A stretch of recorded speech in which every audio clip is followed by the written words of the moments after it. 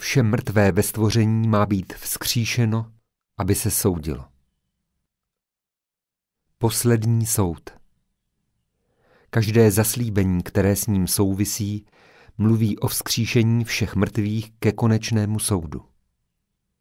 Do pochopení tohoto pojmu se však lidem opět vloudil omyl. Nemá být totiž řečeno vzkříšení všech mrtvých, nýbrž vzkříšení všeho mrtvého. To znamená oživení všeho toho, co je ve stvoření bez pohybu, aby to pro boží soud ožilo a ve své činnosti bylo buď povzneseno, nebo vyhlazeno. Nic nezůstane nehybné, protože živá síla, zesíleně proudící celým stvořením, teď naléhá a tlačí, nutí všechno k pohybu.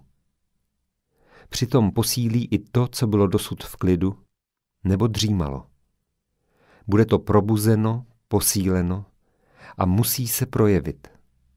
Bude v probouzející se činnosti jakoby vytaženo na světlo, i kdyby se chtělo skrývat. Také se dá říci, že vyjde samo na světlo a musí se ukázat, že nemůže dále dřímat, ať je kdekoliv. Lidově řečeno, vyjde to na světlo. Všechno ožije a projeví se. Všechno v celém stvoření, a to novým pronikáním světla. Světlo mocně přitahuje vše, co ve stvoření existuje, ať to chce nebo nechce, nebo se dokonce skrývá, takže všechno nakonec přijde do styku s tímto světlem. Nemůže mu uniknout, i kdyby mělo křídla ranních červánků. Žádné místo v celém stvoření neposkytne skrýš před světlem. Nic nezůstane neosvětleno. V pohybu, vyvolaném přitažlivostí, musí však na tomto světle stroskotat a schořet všechno, co nesnese jeho paprsky, co tedy již samo k tomuto světlu neusiluje. Avšak co spěje ke světlu, rozkvéte a zesílí v čistotě svého chtění. Tak je tomu i se všemi vlastnostmi duší pozemských lidí.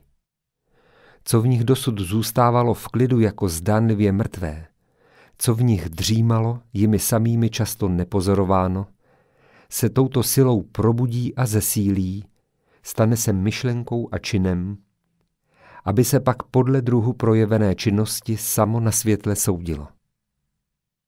Uvažte, že ožije i to, co spočívá ve vás.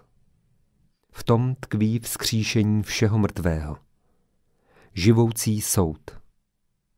Poslední soud. Musíte se přitom vypořádat se vším, co je ve vás. Musíte se očistit, jinak zaniknete spolu se zlem, získáli ve vás převahu. Zlo vás pak zadrží a spěnivým sykotem se vám srazí nad hlavou, aby vás strhlo sebou do propasti rozkladu. Neboť zlo nadále neobstojí v záři božské síly.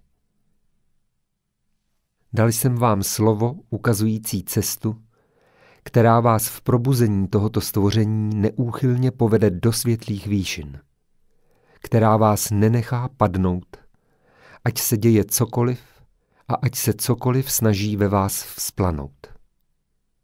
Jestliže ve věrném přesvědčení hledíte ke světlu, jestliže jste mé slovo správně pochopili, do svých duší přijali, pak budete klidně stoupat vzhůru ze zmatků, očištěni a zjasněni, osvobozeni ode všeho, co by vám jednou mohlo bránit ve vstupu do ráje. Bděte a modlete se tedy, abyste si nedali kalit jasný pohled ješitností a domýšlivostí, nejnebezpečnějšími to léčkami pro pozemské lidi. Chraňte se. Jak jste dnes v sobě připravili půdu, tak se vám při očistě stvoření povede.